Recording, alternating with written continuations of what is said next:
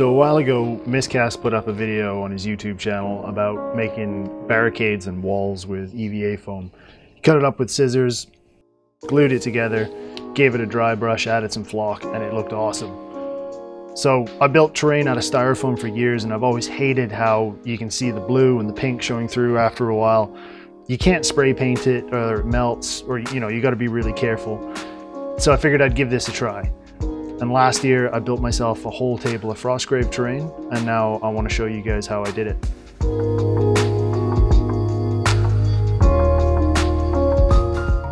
So why use EVA foam? It's incredibly durable.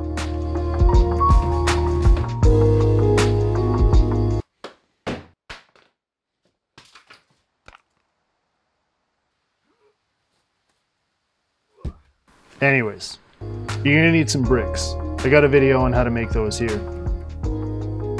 Once you got some bricks, you can just start gluing it down to an MDF base. If you don't have MDF, you can use cardboard, chipboard, whatever you want. Just start gluing bricks down. Don't worry about the sizes or the shapes, just get them on the MDF. You want it to look kind of varied and kind of ramshackled is what I've been going for. These are meant to look like they're put together by magical wizards, not professional contractors. You can get yourself some popsicle sticks, cut them up, and you can use those for your floorboards. If you don't want floorboards, just put in a dirt floor. Just glue some dirt in. You'll be fine. Once your boards are in, I like to scratch them up with a pick or a knife, give it a little bit of texture. Hey, you can even add some nail holes with a drill.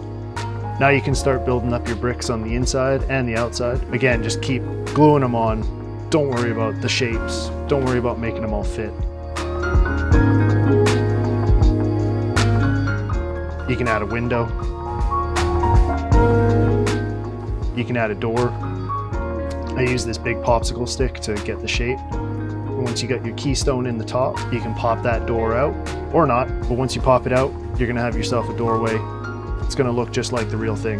That's how they do it in the real world. So you're gonna have lots of little wispy bits from the glue gun. Those you can pick them off. Once you got the big ones out of the way, just go over it a couple of times with a torch or a heat gun and they'll all just disappear.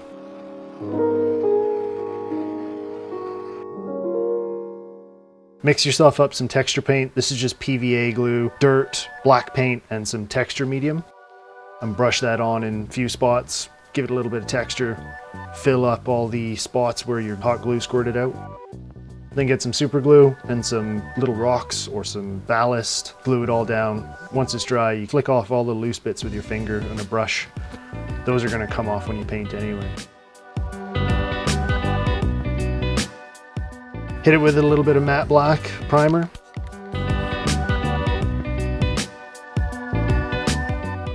Then give it a dusting with some gray spray paint.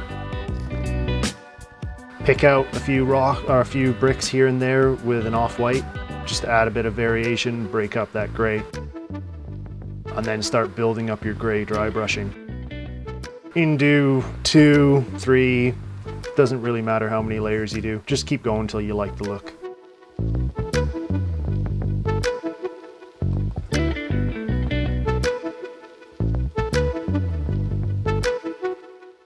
Yourself some brown paint, paint up the floorboards, give that a bit of a dry brush.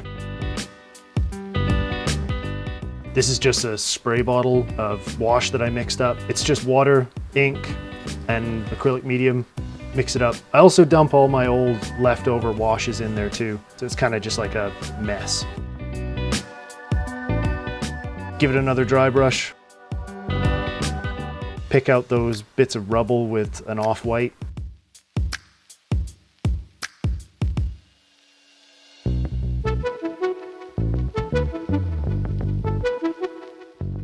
And now you can give it a matte spray. And you're done.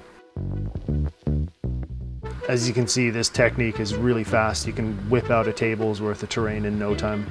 And you don't just have to do fantasy. These techniques will work for doing science fiction stuff too. Dystopian, industrial, post-apocalyptic, whatever you want to call it.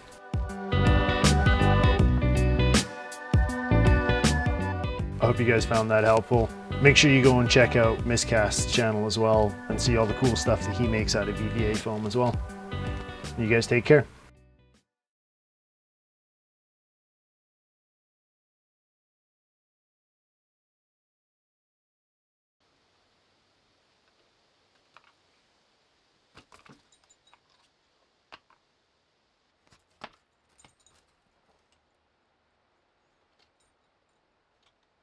Bring it here. Bring it here. Hey, don't chomp it.